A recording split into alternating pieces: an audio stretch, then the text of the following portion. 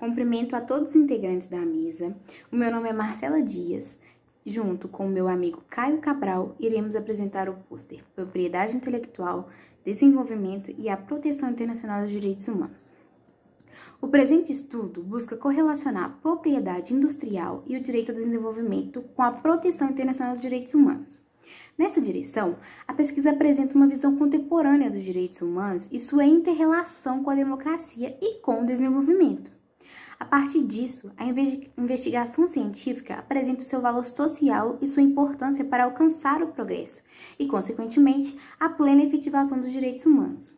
Na confecção do trabalho, utilizou-se uma metodologia jurídica teórica, a partir do desenvolvimento de um raciocínio predominantemente dialético-dedutivo e técnica de pesquisa bibliográfica e documental. Primeiramente, os direitos humanos, por meio de uma análise de autores como Bob, Ana Arendt e Joaquim Flores, não surgem de uma só vez e nem sequencialmente, mas em um processo de construção e reconstrução a partir de lutas e de ações sociais que se traduzem em uma resistência racional em prol da dignidade humana. O, contexto verdadeiramente democrático é essencial para que os países atinjam a mudança na estrutura que caracteriza o desenvolvimento. O desenvolvimento democrático requer uma, uma jurisdição especializada em temas como propriedade intelectual, que seria uma razão pela qual diversos instrumentos internacionais traduzem a importância da preservação e promoção destes direitos pelo Estado.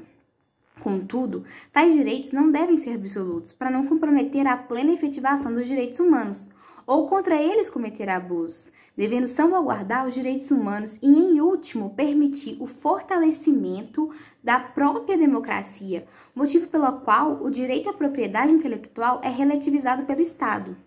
A Declaração de Viena de 1993 e a Declaração sobre o Direito ao Desenvolvimento da ONU de 86 reflete os ideais de solidariedade e cooperação no contexto de mútua ajuda. Nesse sentido, o compartilhamento de produtos científicos e culturais são essenciais para promover aos países mais pobres meios para se alcançar os direitos ao desenvolvimento e, deste modo, a plena efetivação dos direitos humanos no contexto global.